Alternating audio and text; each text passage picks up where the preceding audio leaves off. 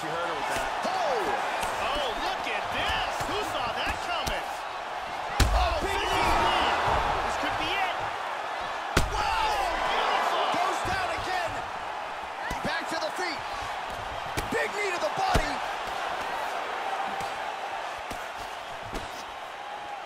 Oh! She's out. Oh. And just like that, the fight is over. Landed a big kick for the knockout.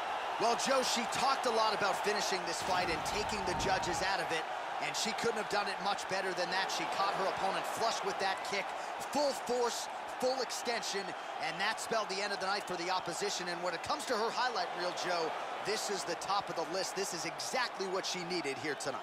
Let's see that again. Crank right on the jaw. Well, that's a knockout they'll be talking about for quite some time. What a moment for this